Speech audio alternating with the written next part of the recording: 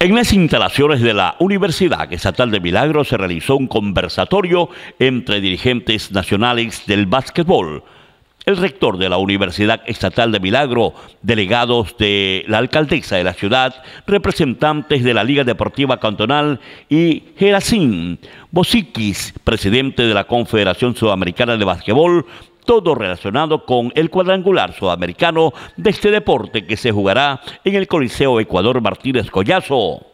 Quiero presentarle al señor Gerasín Bosiski, el presidente de la Confederación Sudamericana de Básquet, en este momento a Basu.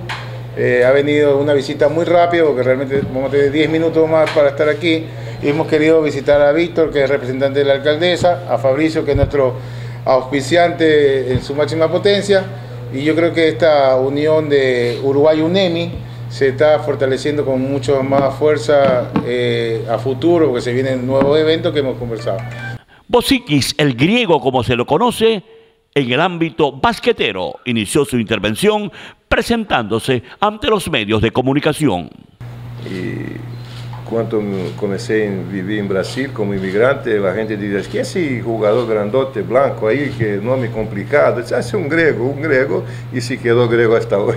y la gente me sabe mucho de griego. Bien, ustedes, como ya habló Enrique, estamos muy contentos de estar aquí con esa, esa gente toda se juntando, la alcaldía, la universidad, la federación, todo el mundo. Es importantísima esa unión. Ustedes están participando de un momento histórico para el básquetbol de, de Sudamérica y principalmente el básquetbol femenino. Estamos organizando y hasta se tornó realidad un sueño nuestro de muchos años y gracias al apoyo de Enrique y de otro compañero de Venezuela, Pedro, nos conseguimos realizar ese sueño y comenzamos la Liga Sudamericana Femenina semana pasada en Valparaíso, lo cuadrangular, lo, lo grupo A, la próxima semana aquí en Milagro del Grupo B y el Grupo C será en Venezuela y después tenemos una gran final en septiembre eh, en eh, Valparaíso donde jugaremos con los seis mejores equipos. Fabricio Guevara, rector de la Universidad Estatal de Milagro, aplaudió la oportunidad que tiene Milagro de vivir la fiesta del básquetbol. Un momento histórico para la ciudad y para Sudamérica en, esta visión que tiene el, compañero en cuanto a impulsar el básquet desde los territorios, desde aquellas ciudades donde eh, básicamente vamos, vamos a vivir una fiesta del básquet.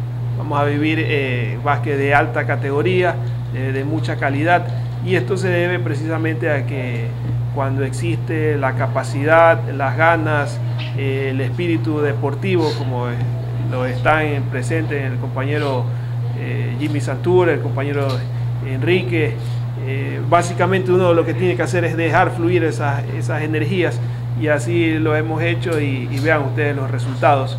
Un eh, campeonato sudamericano, eh, una liga nacional que se está trabajando en, la ciudad y que de manera muy positiva y loable están respaldando las dos principales instituciones de la ciudad, como es la universidad y en este caso la, el GAT San Francisco de Milagro. ¿no?